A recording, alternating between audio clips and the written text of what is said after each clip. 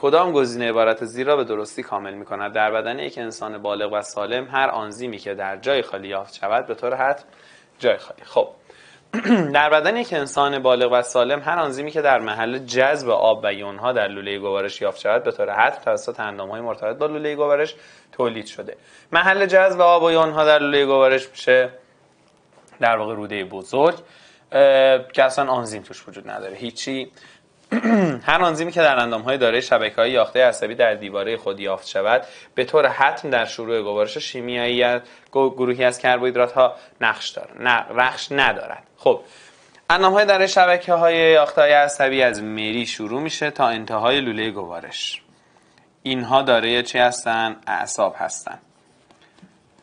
اما دهان اعصاب نداره بچه ها شروع گوارش کربوهیدرات هم از دهانه. پس همین جواب صحیح ما خواهد بود. یعنی میگه اندام های داره شبکه یاخته عصبی در دیواره خود. یعنی مریتان تا لوله گوارش. در شروع گوارش شیمیایی از گروهی از کربوهیدرات ها نقش ندارن. درسته دیگه.